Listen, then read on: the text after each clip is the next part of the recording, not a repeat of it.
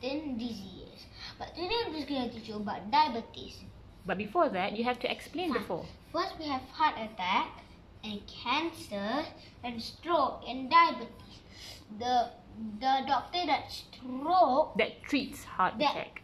that treats heart attack is called cardiologist, and the doctor that tre- treats cancer is oncologist.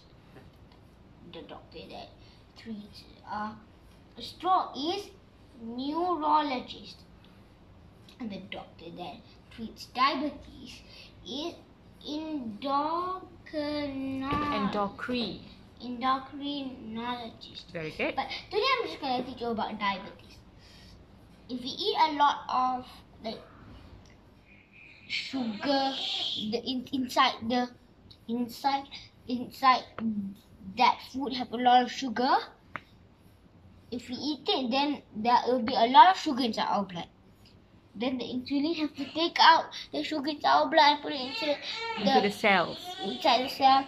Take take out the sugar from the blood and put it inside the cells. Take out the sugar from inside the blood and put it inside the cells.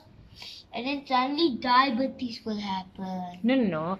So basically, what happened when uh Then then, then the insulin will get so tired, then they will stop working. Then when they stop working, there will be a lot of sugar inside our blood. And then that's when diabetes happens. Yes, that's why sometimes when people who have diabetes, they have to inject Inject insulin. insulin. Yes. Then, then they will help us to eat the